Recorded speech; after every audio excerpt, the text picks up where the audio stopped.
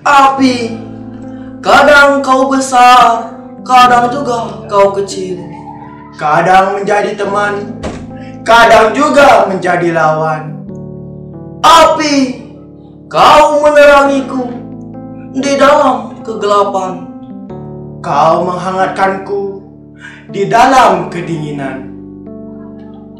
Kadang juga kau membuatku